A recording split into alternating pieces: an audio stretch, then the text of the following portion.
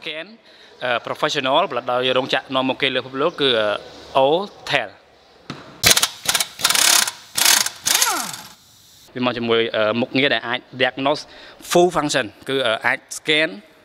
គ្រប់ប្រព័ន្ធរថយន្តទំនើបទាំងអស់មួយនឹង service នៅនៅឃើញពេលដែល admin ចូលទៅកន្លែង service នៅនឹងនេះអាចប្រើប្រាស់ឧបករណ៍ហ្នឹងដើម្បីធ្វើការងារច្រើនមែនទែន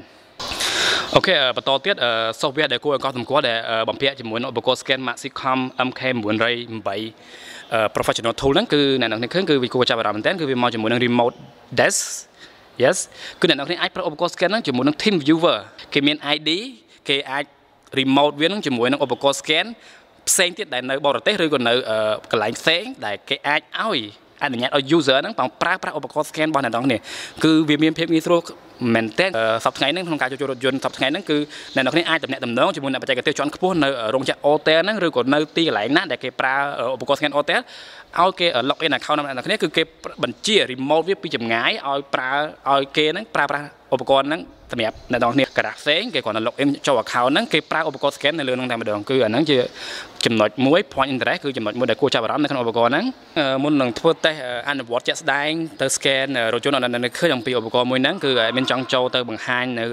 function មួយទៀតគឺគេហៅនៅលើ Otel មាន function viewer អ្នកនរគ្នាគ្រាន់តែប្រើវាដើម្បីសួរទៅរោងចក្រថាតើឧបករណ៍ scan មួយនេះវាអាចធ្វើការងារបានអ្វីខ្លះទៅអាច reprogramming ទៅលើឡានម៉ាក់ model អ្វីខ្លះអ្នកនឹងគ្រាន់តែចូលទៅ function viewer ហ្នឹងប៉ុន្តែត្រូវច្បាស់ថាអ្នកនឹងភ្ជាប់អ៊ីនធឺណិតដោយសារការងារហ្នឹងគឺវា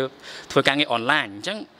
ងាយស្រួលមែនតើនៅលើ function viewer ហ្នឹងអ្នកនឹងអាចសួរថាឧបករណ៍ scan មួយហ្នឹងអាច reprogramming ទៅលើរថយន្តម៉ាកណាខ្លះ model ណាខ្លះហើយសមត្ថភាពវាធ្វើទៅលើ model ណាខ្លះដែលវាអាចធ្វើទៅបានហើយធ្វើអ្វីខ្លះចឹងងាយទៀតគ្រាន់តែចូលទៅកន្លែង function viewer របស់រោងចក្រ Otel ហ្នឹងអ្នកនេះឃើញអ្នកនេះនឹងអាចវាយ brand ម៉ាករថយន្តហើយនឹង model ហើយនឹងឆ្នាំរបស់វាវានឹងប្រាប់ថាវាអាចធ្វើអ្វីបានខ្លះជាឧទាហរណ៍អឺឲ្យមានចូលទៅ Audi នៅនេះឃើញហើយជ្រើសរើសយក model Q7 ឆ្នាំ2016 2017ឬក៏អញ្ចឹង Q7 ឆ្នាំ2015នៅនេះឃើញអញ្ចឹង ឧបករណ៍ scan ហ្នឹងនឹងប្រាប់ថាសមត្ថភាពវាវាអាចធ្វើការងារអ្វីបានខ្លះទៅលើរថយន្ត Audi Q7 ឆ្នាំ2015ហ្នឹងនេះឃើញគឺវាអាចធ្វើ active test steering assistant របស់របស់រថយន្តហ្នឹងបាទធ្វើការងារបានច្រើនមែនទែននេះឃើញគឺអាចធ្វើការងារ ECU information អាចមើលព័ត៌មានប្រព័ន្ធហ្នឹងអាច live data អាច programming ប្រព័ន្ធចកោត assistant steering នេះឃើញគឺវាអាច programming បានវាអាច read code ប្រព័ន្ធចកោតវាអាច ធ្វើតេស្តប្រព័ន្ធពងអ្នកឃើញគេ active test ប្រព័ន្ធពងសុវត្ថិភាពវាអាច coding ប្រព័ន្ធពងសុវត្ថិភាពផងដែរបើន័យថា coding ហ្នឹងស្រៀងនឹង reprogramming ដែលសង្ឃឹមថាមានឱកាសក្រោយៗទៀត admin នឹង develop video ណាំដំណាក់គ្នាអំពីរបៀបធ្វើ ECU program ទៅរថយន្តអាស៊ីរថយន្តអឺរ៉ុបផងដែរបើសិនជាមានឱកាសអញ្ចឹងចុះទៅទៀតអ្នកឃើញគឺវានេះអ្នកឃើញ airbag programming customization វាអាចធ្វើការងារនឹងបានយេ អញ្ចឹងជាវិញអញ្ចឹងទៅជាមួយ admin នឹងធ្វើ test ផ្ទាល់ scan ម៉ាស៊ីនរថយន្តឲ្យអ្នកឃើញអូខេដើម្បី scan admin យកឧបករណ៍នេះគឺ VCM ឬក៏ programming device នេះដោតទៅទៅក្នុងប្រព័ន្ធរថយន្តហើយវានឹង Bluetooth ជាមួយឧបករណ៍ scan ហើយឧបករណ៍ scan ហ្នឹងទៅ scan ប្រព័ន្ធម៉ាស៊ីនឲ្យអ្នកឃើញអញ្ចឹងត្រូវប្រកាសថាអ្នកបើក Bluetooth ហើយចំណុចជាមួយនឹង VCM ខាងក្នុងអញ្ចឹងមានចូលទៅ diagnostic ដូចដែលបានណែនាំមិញអញ្ចឹងបើអ្នកនរចង់ scan គ្រប់ប្រព័ន្ធអ្នកនរចូលទៅ Mac Toyota នេះជ្រើសរើសយក scan full function អញ្ចឹងបើអ្នកនរនេះគ្រាន់តែចង់ scan ប្រព័ន្ធម៉ាស៊ីនទេងាយងាយមាន function លឿនគឺចុចទៅ EOBD អ្នកនេះចុច accept អញ្ចឹងវានឹងបង្ហាញ auto scan អ្នកនេះគ្រាន់តែចុចទៅវានឹង scan ប្រព័ន្ធម៉ាស៊ីនអញ្ចឹងផ្លូវកាត់កុំឲ្យ view កុំឲ្យពិបាក scan គ្រប់ប្រព័ន្ធប្រព័ន្ធម៉ាស៊ីនជាក់ប៉ុនអីប៉ុននេះចូលទៅ EOBD នៅលើ function ហ្នឹងគឺអ្នកនេះឃើញគឺវាដើរអ្នកនេះ live data test អ្នកនេះឃើញ វាមកជាមួយនឹងដូចនេះគឺអ្នកនេះអាច scan ម៉ាស៊ីនអាចធ្វើ inspection and maintenance live data ផងដែរអ្នក admin ចូលទៅ scan យេលបឿនវាលឿនមែនតើយ៉ាអញ្ចឹងវាប្រាប់ថា manufacturer specific not found អញ្ចឹង admin នឹងចូលទៅ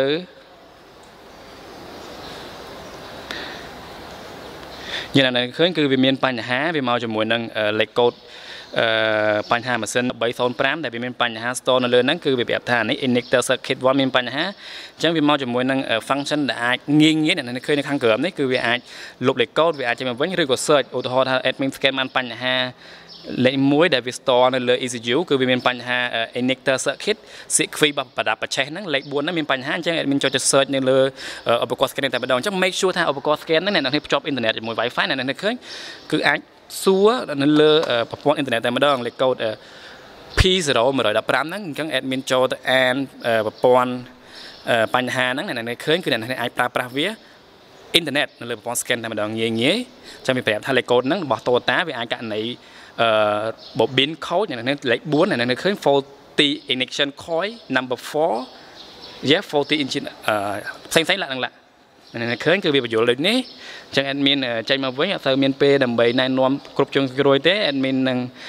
ធ្វើតេស្ត live data ឃើញថាអូនទៅប្រឆេះឡើងបងនេះអញ្ចឹង admin នឹងចូលទៅ function live data នៅឃើញថាវាមានមកជាមួយនឹង feature ដូចម្ដេចអូខេឥឡូវម៉ាស៊ីន Toyota វាពងតែប្រឆេះអញ្ចឹង admin ចូលទៅ live data ហើយឃើញគឺវាអាច live data ដូចជាឧបករណ៍ scan ទូទៅដែរគឺវាអាចមើលទៅន័យបានប្រព័ន្ធ sensor ទាំងអស់ប្រព័ន្ធម៉ាស៊ីនប្រព័ន្ធប្រឆេះ ប្រព័ន្ធបញ្ចេញផ្សែងពុលផងដែរហើយអ្នកនរគ្នាក៏អាចប្រើប្រាស់វាទៅជាក្រាមជាយ៉ាក្រាម ជា indicator អ្នកនរឃើញ my airflow sensor admin ចង់បដូរវាទៅជា indicate ជាក្រាមអ្នកនរឃើញងាយងាយ Oxygen sensor bank one sensor 2ឃើញឃើញវាឲ្យ vortex មក interface វាគឺស្រស់ស្អាតដូចនេះនេះឃើញអញ្ចឹងអឺ ផងដែរវាក៏អាចធ្វើការងារជាមួយនឹងលុបបញ្ហាឬក៏ record ទិន្នន័យហ្នឹងជាវីដេអូនេះឃើញ admin ចុច record ខាងក្រោមវាកំពុងតែ record អាការ operating របស់មួយហ្នឹងអ្នកនរគ្នាអាចប្រើប្រាស់វាអាវីដេអូមួយហ្នឹង send ទៅ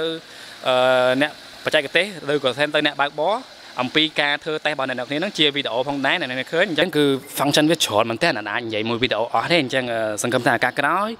admin នឹងផលិតវីដេអូមួយទៀត អំពីការប្រើប្រាស់ឧបករណ៍ scan professional ដូចនេះ